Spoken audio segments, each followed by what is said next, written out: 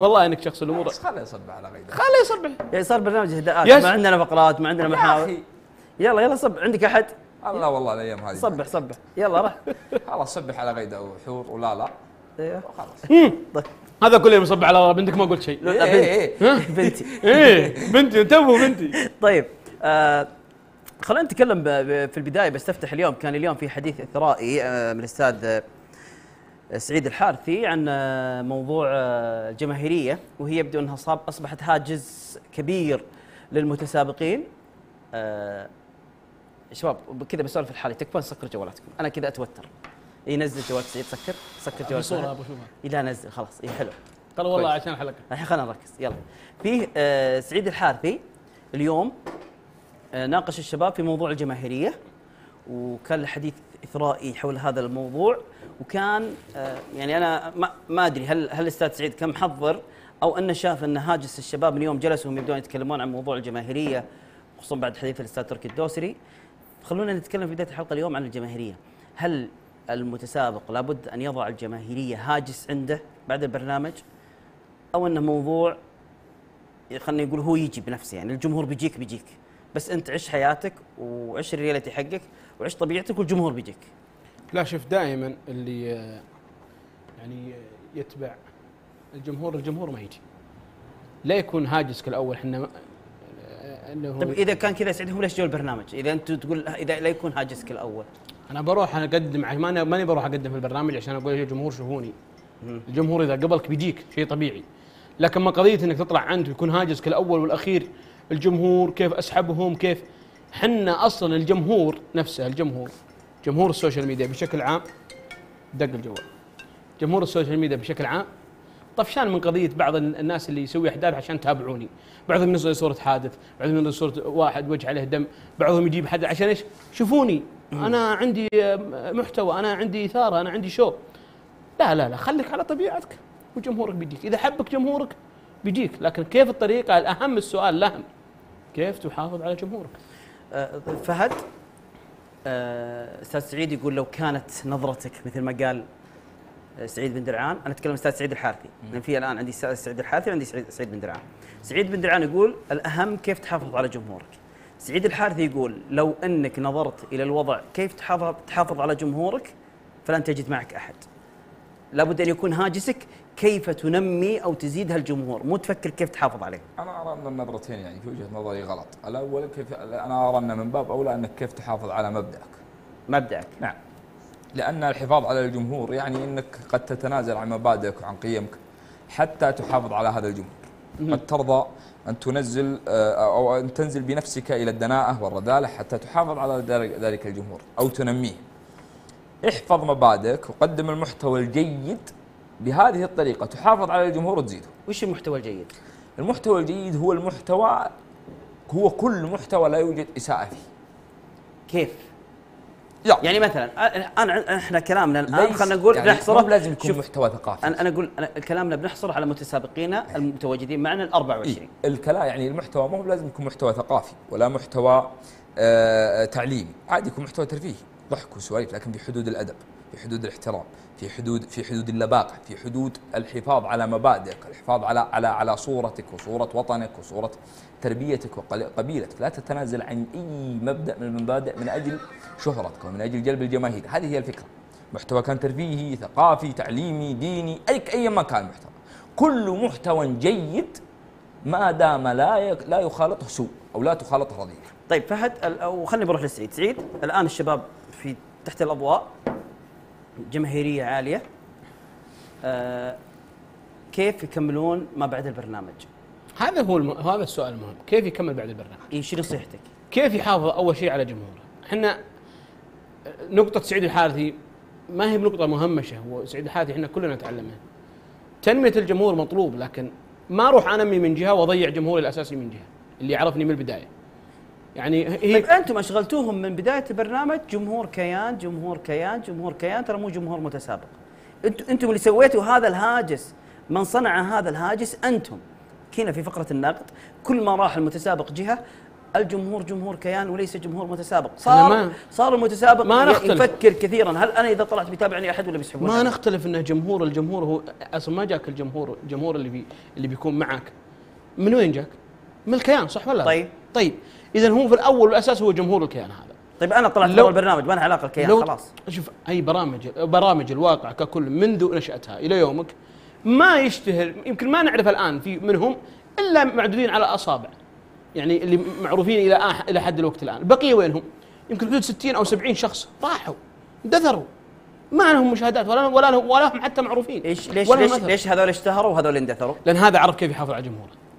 عرف كيف ما يطور له علاقة أتوقع لأن الخروج نمى جمهور لا، لا،. عرف كيف- مو يحافظ بل يمكن أنا أوافق أستاذ سعيد في مسألة إنه نمى جمهور جديد ما حافظ لأن الأرقام اللي اللي عند بعض المتسابقين تفوق الأرقام اللي كانت معه في وقت خروجه من البرنامج. بس كيف اطور كيف اطور كيف أطور نفسي وأطور جمهوري معي؟ هذه مهم إيه، إيه. كيف أطور نفسي وكيف أطور جمهوري معي؟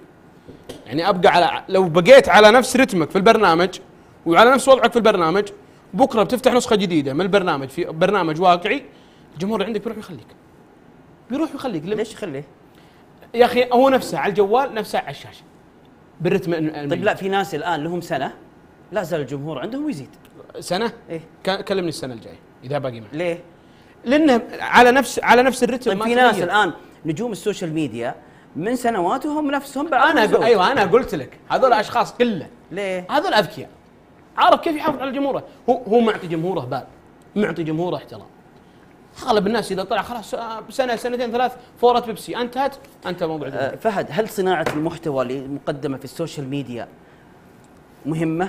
وش تنصح فيه المتسابقين؟ أتكلم عن صناعة المحتوى لأن لأن بعض الناس يعتقد أن صناعة المحتوى مجرد يرفع جوال ويصور يوميات وخلاص. يعني إحنا إذا تكلمنا عن صناعة المحتوى البحتة بنكون يعني مقننين داخل دائرة معينة.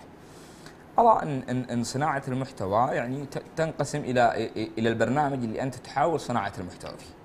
لو قلنا مثلا سناب شات سناب شات هو برنامج لتصوير اليوميات فقط لا غير. إن أضفت عليه إضافة كان محتوى ثقافي لا مو بيوميات فهد فرق. هذا ما نعرف عن سناب شات. لا يعني مثلا الحين لو نشوف مشاهير ال social media وضرب مثال الاستاذ سعيد اليوم بعض الأسماء إنه يقول من أنت؟ يعني فهد معيان في السناب إيش؟ فهد فهد معيان إيش؟ إحنا نتكلم عن مهمة جدا. إحنا نتكلم عن يعني مثلا نايف حمدان يقدم إحنا نتكلم آه، عن قصص. أصل إحنا نتكلم عن أصل البرنامج. لا أتكلم شوف هاجس الشباب ليس أصل البرنامج. أه، تقصد أصل البرنامج سناب شات؟ أصل سناب شات. إيه. أصل سناب شات سناب شات يوميات. صور لي يومياتك. وهذا محتوى جيد. بس يوميات. يو ترفيه. محتوى إيه ترفيه. اليوميات مو بتقدر تقننها. هل تعلم يا أبو عبد الله أن الناس تحترف هذه الصناعة. تصوير الفلوقات أكيد الفلوجات وليس وليس اليوميات هي احتراف. إيه. في المسألة احتراف يطور.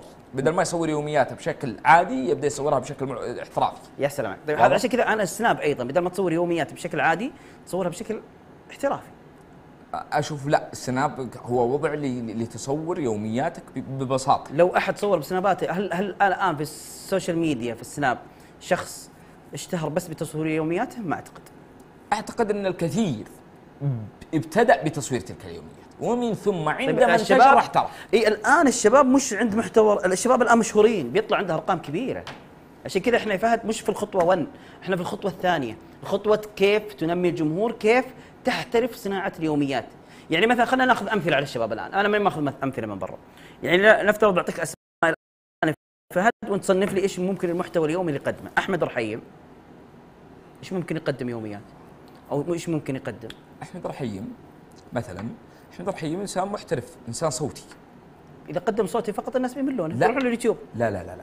في فرق إني أنا إنسان منشد. أنا أنا بوري الناس كيف أقدم كيف يجيني العمل كيف ألحنه آه صناعه كيف- يعني إيه. تعطي الطلب إيه كيف كيف- كيف ألحنه كيف أسجله كيف أختار المقام كيف أختار اللحن كيف يخرج كيف أوزع كيف كيف كذا. هذه يوميات. هذا هذا الحاجة اللي أنا أسويها في يوم في سعد يوم. الشهري مقالب مثلا. سعد لا سعد الشهري محتواها. مقالب؟ كل يوم مقلب. لا يعني مع مع ح- سعد أحيانا ترى جيد في بهاج مثلا في الحديث في ال- الكتابة في القصص نواف العتيبي في القصص. آه أنا أشوف إن الاستمرارية أنا قلتها بالبدايه التخصص. بعد. الاستمرارية والحفاظ على المبادئ هم الركيزتان التي يعتمد عليهم كل شيء. يا سلام عليك. هذه هي. اللي هي الخصها مرة ثانية مم. فهد الاستمرارية؟ والحفاظ على مبادئك لا يعني بعطيك مثال. بعض الناس تلقاه يختم سناباته بصورة خليعه ليه؟ ارتفاع مشاهدات. أو يختم سناباته بفعل بصورة حادث ويقول إنا لله وأنا إليه راجعون أو بصورة حريقه ليه؟ بعضهم يدعي على نفسه يقول انت ترى صاحب الحساب ها. لا ما يقول صح بعدين. حط تحت آه، إذا شاء الله. تدعي على نفسك. ليه؟ هذه هذه قله يا فهد. لا. والله أنا كذا هذا. هو السواد الأعظم. هل هو هوس؟ إيه. هوس صار هوس مشاهدات. البعد عن الأضواء مرض. يسبب عشان. كذا أنا ترى ونحن نعلم أنا, أنا مسجل هنا. أنا مسجل هنا ملاحظة. أنا كنت بختم فيها. إي بختم فيها. يمكن سولفنا فيها قبل يومين. أنا ما أدري إيش بتقول. أنا هذه الأسئلة مهمة جدا لأن أنا أبغى الشباب يركزون في نقطة. ال- المشاهدات والأضواء انسحابها فجأة قد يسبب اكتئاب. أكيد. يسبب اكتئاب. فعشان كذا لابد أن تهيئ وهذه النقطة الخطوة الثانية. ونحن نعرف أحد يعني الكثير كثير صاروا كثير. جاء يعني إحنا زملائنا يعني والله إني أعرف واحد شخصيا كان في برنامج واكل وكان أثناء البرنامج له وهج وصدى وتاثير طلع تفاجأ باللي رآه. أقسم بالله إنه حذف التويتر وحذف الإنستغرام وحذف السناب. وإنه منعزل تماما الانسان ترى لابد إنه يهيئ نفسه. عشان كذا التهيئة مهمة. إيه يعني بمعنى. سعود العتيبي كم بيقعد اعلامي؟ كم؟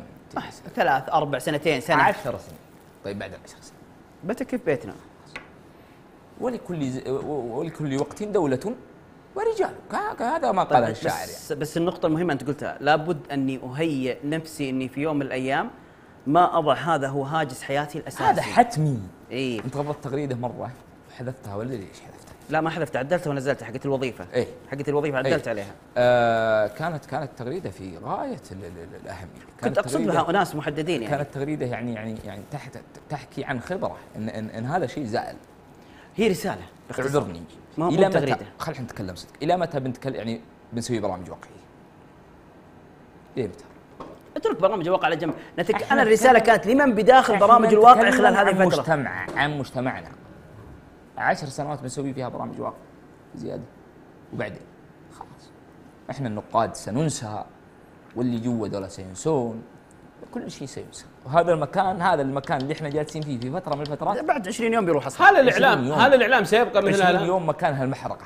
هذه الطاولة الورق اللي يجرونها كل شيء آل إلى الزوال الاعلان هذا الإعلام الآن هل بعد 10 سنوات سيكون بالشكل هذا؟ لا. يختلف. حتى كنا يختلف. عطني انت ابو عبد الله. لعلك لحقت. يعني أو يعني نعرف كتاب. كم أو الشعراء مثلا.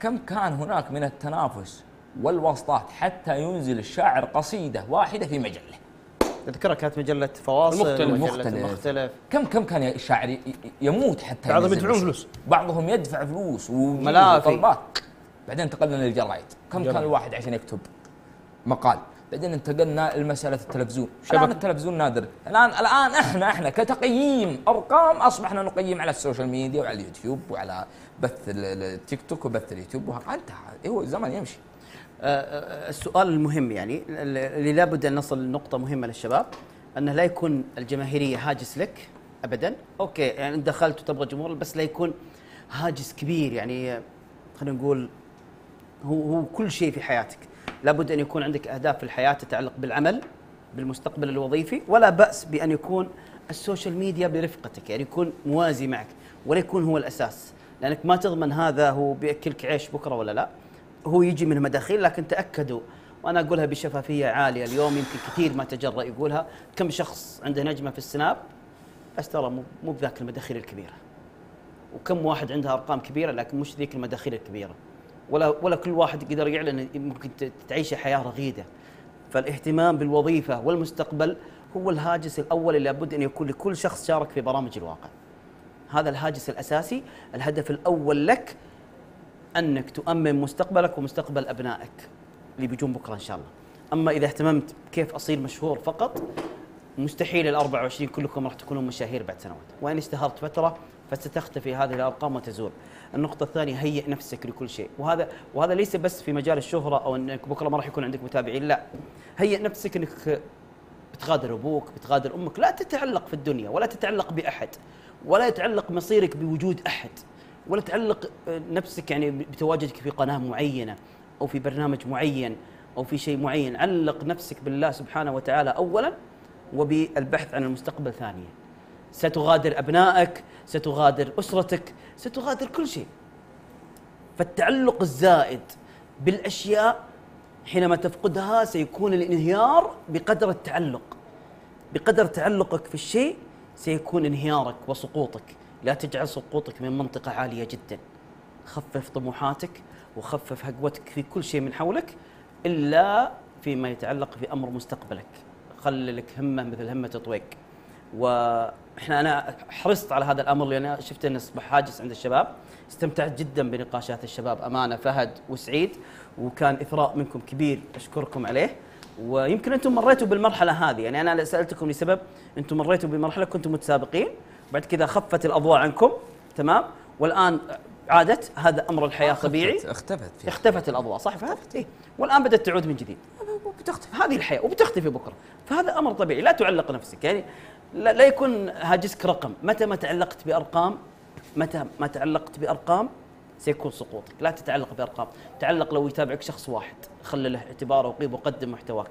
واستمتع بما تقدم ستنجح. واتمنى انكم اللي الشباب اللي قاطعوا فقرة الأستاذ سعيد اليوم عمدا عمدا أو بدون عمد يعني غايبين لظروف. أتمنى أنكم ما تكونون حساسين بزيادة يعني من أراء الأراء طبيعيه لي- ليس كل الناس سيثنون عليكم وليس كل الناس سيراهنون عليكم. فمن أجل ذلك تقاطع فقرة عشان ما ذكرك مثلا في تغريدة أو في أي شيء ثاني. الأمر الثاني المهم آه، استفيدوا استفيدوا استفيدوا من هذا الكنز أنا اليوم استمتعت جدا بحلقة الأستاذ سعيد وسأحرص جدا إني أقتني كتابيه اللي وعد فيها الشباب اللي بيجوبها إن شاء الله الأسبوع الجاي أو إني برسل له رسالة اليوم أقول له الله يرحم والديك أعمل حسابي. كان عندي صناعة النجوم وأيضا خطط المستقبلية للنجوم. آه شكرا أستاذ سعيد على ما قدمت واسفا على الصورة اللي بتعرض الآن أنا أبغى أسمع تعليق الشباب عليها. هذه الصورة لم تكن في بداية الحلقة